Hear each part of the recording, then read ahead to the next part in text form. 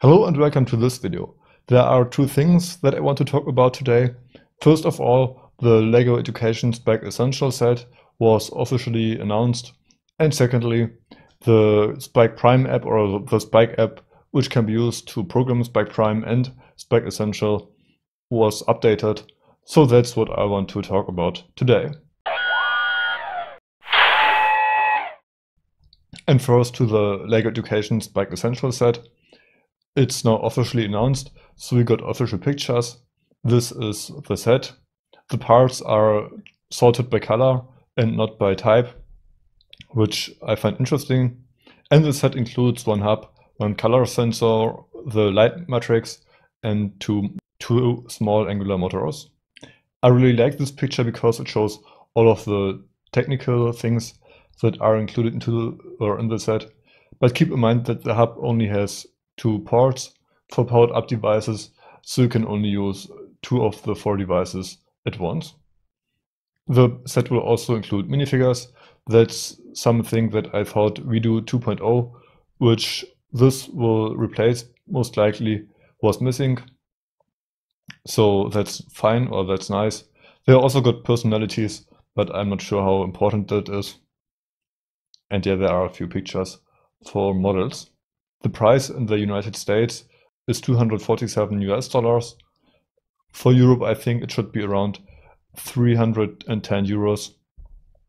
But that's something that we will have to see.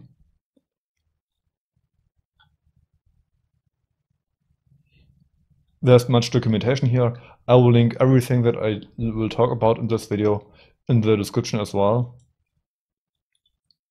And you can get the parts individually. So you can get the hub individually, the matrix, the motor, and the minifigures and all the other stuff. You got the hub. I, I already told you that it got two ports, two Powered Up ports, one USB plug to connect to the computer and to charge the rechargeable battery, and a button to turn it on and to get into pairing mode, and a light. It also includes Uh, a 6-axis gyroscope, but let's talk about the specs later. The price for the hub alone, including the rechargeable battery, is $190. The light matrix costs $35 and the small angular motor costs $35 as well. And there are also these minifigures which cost $2, which I think is pretty cheap for minifigures but they are not very detailed. They don't have printed bodies and stuff like that. So this might be a deal if you're interested in minifigures, or maybe not. That's up to you to decide. And now we've got, or we can get to the interesting stuff, and that's the technical specifications. Because for the LEGO Education products, we get technical specifications, and they include some more details. So the hub will feature Bluetooth low energy and normal Bluetooth, I think.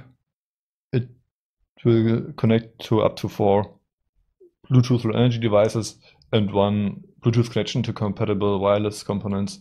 I think that they mean Bluetooth Classic, Classic with this one, similar to Spike Prime. Then we've got uh, RGB LED, and the firmware can be updated according to this sheet. According to the FAQ, it will only be updatable through USB, so I'm not sure about that. But uh, they list it here as wirelessly updatable. It contains a 6-axis gyroscope, which the normal LEGO Technic Hub and the large LEGO Technic Hub include as well. The operating system is based on MicroPython, but you won't be able to download the programs to the hub, so it will be streaming mode in the Powered Up app only, and you won't be able to write Python programs for this hub with the Spike app, but only Scratch programs or programs in a WeDo 2.0 similar software or environment that we will talk about later in this video. There's also information about the power supply, the size, the weight, and the system in general if you're interested in that. Again, I will link all of the documents in the description. There's also the documentation for the RGB matrix or the color matrix. I don't think that they're really interesting. And there's information on the new motor, which is a bit more detailed. We also get a voltage range from 3.3 volts to 6 volts, which is pretty low, I think, because the powered up system can have up to 9 volts. So I'm not sure if this is some kind of mistake or if the hubs will adjust the voltage automatically.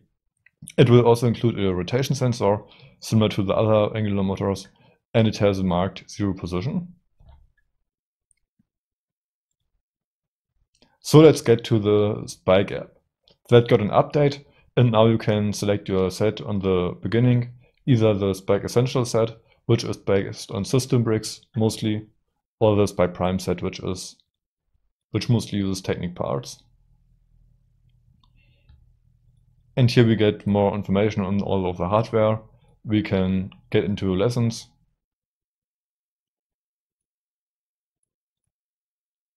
And we can get to the building instructions.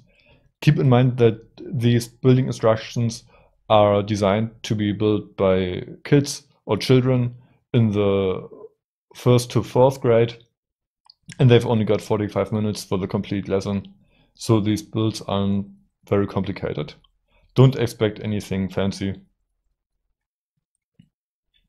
because that's simply not possible in the time frame that these sets are designed for.